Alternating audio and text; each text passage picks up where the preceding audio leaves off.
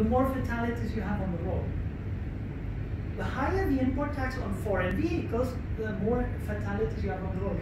Now, where is that come? Where does that come from? Well, uh, there are many countries actually that uh, that limit the imports of foreign vehicles.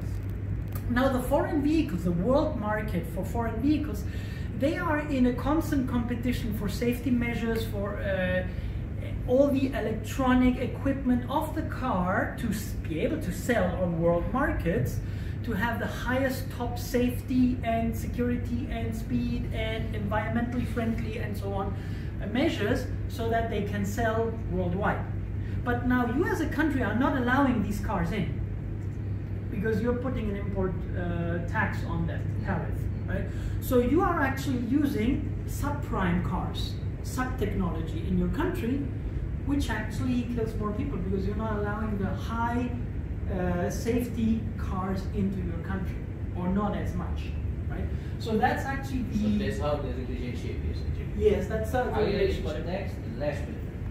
The the lower the tax, the lower the fatalities. The lower the tax, the lower the fatality. Yes.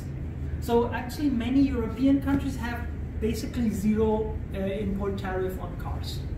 Uh, Okay, hang on. Switzerland, France, uh, Spain. Uh, So the higher the import tax means uh, More Uh, more people are more killed. people, more people, more people will be killed because they are using subprime quality of car, right? Yes, correct. Produced by their own country. Yes. Can be or cannot be. Some African countries they just don't let uh, cars in, or uh, or they put very high tariff because the government wants to Mm, mm. seize money.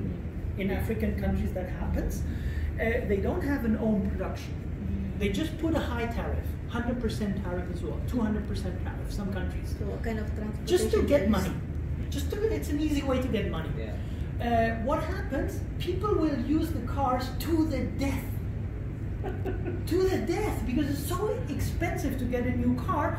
You're using cars 30 years, 40 years, 50 years, 60 years. Yeah. Hmm. Those cars are bad.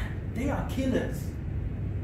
But you're still using them because it's so expensive to get a new car. And we have a little bit of that here. I mean, the Proton Saga from 1980s, you can see it on the road all the time.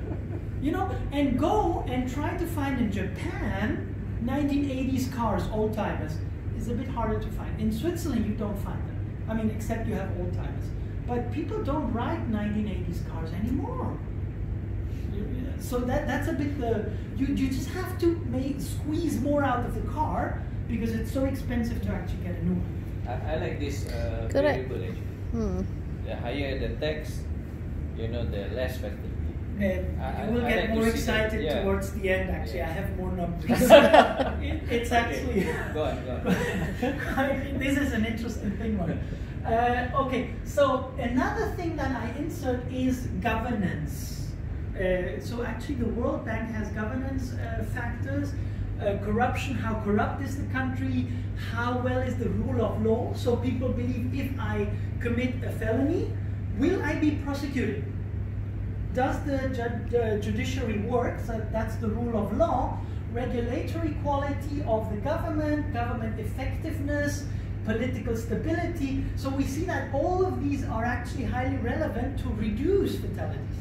So the better the government works, the better the institutions work, the less fatalities on the road. Okay?